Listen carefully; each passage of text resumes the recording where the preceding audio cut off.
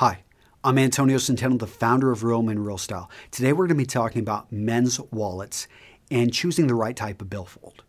Okay, if you haven't already, please subscribe to our YouTube channel. By doing that, these videos will come right to you. In addition, if you like this video, if you find it useful, please click on the like right below. And finally, we're going to link you to articles below which are going to be useful and are going to help you expand and learn more about men's style. So go ahead and click on any of the articles below and you're going to be navigated to websites which will teach you more about men's style. Okay, so this is a question that came in. Antonio, do you have any suggestions in terms of wallets? I tend to wear pants a lot, and in some cases, the eventual wear of the wallet is visible on the back. Are there any brands or types that have a high amount of carrying capacity but are still slim and not visible? Thank you. All right, that's kind of a trick question, and I'm going to use a little bit of an analogy here. So, in 1997, I bought my first vehicle, a Chevy half ton pickup. Oh, it's a great truck. I still have it to this day, love it. And it did everything I needed as a young Marine officer moving across the country. I could throw everything I owned in the back and be able to travel around. I also picked up a motorcycle that was you know great too because it fit in the back of the truck. And i used that because it got, got, much better gas mileage than the truck and it had a much lower profile. Now i have a family. I've got three kids and a beautiful wife. And neither of those vehicles are haul around my family. In fact the motorcycle is gone. I, I don't even i'm not even on a bike anymore. What we have is a minivan because it suits our needs. Now what does that have to do with wallets? Well think about it with wallets you have different needs and you're going to need different wallets to suit those needs. And there isn't a wallet that has a huge amount of carrying capacity that is almost invisible. It, it just can't happen. But what I will tell you is that the bigger you, wallet you have, the more you're going to stuff into it.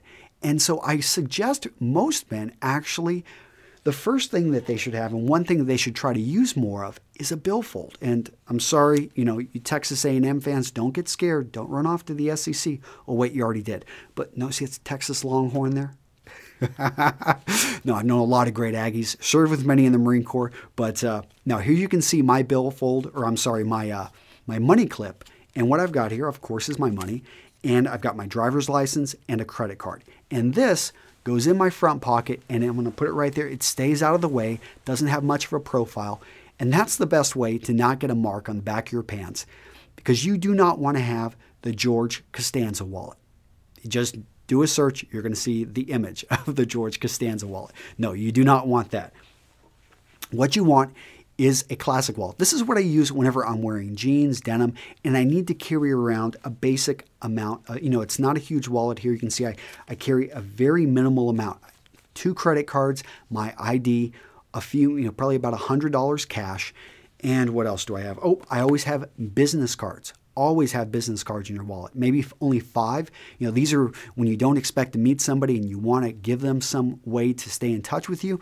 Unless you've got an iPhone with bump, and chances are that person doesn't, business cards are still useful. So that would be the other item you want to have. Now, if you travel a lot and you travel in a suit, I would recommend having a very thin passport wallet. Now, these are really nice because they've got room for a credit card and room for your passport, and that's it.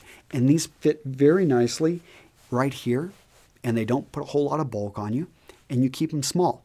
Now, if you're traveling a lot and you're not necessarily in a suit, let's say you're in a little bit more casual gear, and you don't want to go for a wallet like that, you actually need to carry a bit more, you can go for a three-fold wallet.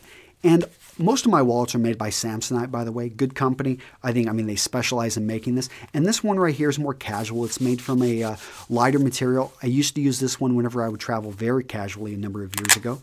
And, uh, you know, it not only will fit a passport, you can put your driver's license, you can put multiple other pieces of paper, your ticket, a few dollars, uh, various amounts of money. Okay, now that I travel with a family and I carry quite a bit, I carry not only my passport, but my kids' passports, my wife's passport, multiple tickets, uh, you know, I, I, don't know, baby pacifiers. No, actually, they don't fit in this. But you can see this is my big travel wallet, and it, it's it looks nice.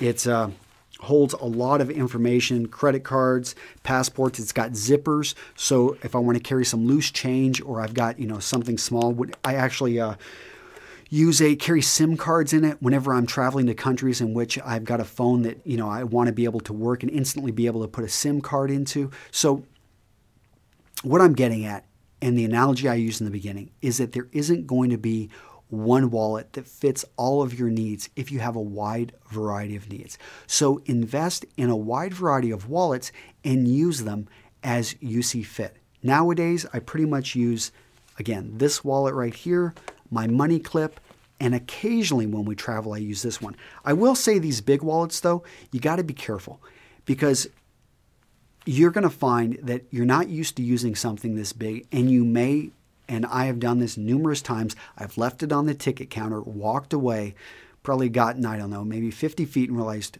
oh, you know, oh my gosh, I left the wallet, run back. Every time it's been there, I've been very fortunate. But you probably want to, uh, one thing that was really nice about this casual wallet is it had a land, you know, basically a string that I could just put this thing around my neck. And I know it looks silly, but it's a lot, I don't mind looking silly and always having my wallet on me versus looking great and losing all of my money and all of my ideas, IDs and having to cancel my trip. Okay, so hopefully that answers the question and I uh, wish you the best of luck with uh, whatever wallet you decide to pick up. Final advice again, go with as small of a wallet as you can because the bigger wallet you get, the more you're going to put into it, the more you're going to stuff into it. Keep it small, keep it light, and you'll find that that pretty much all you need ID, some cash, a credit card. Th- that's it. Okay, guys, take care, and I'll see you in the next video. Bye bye.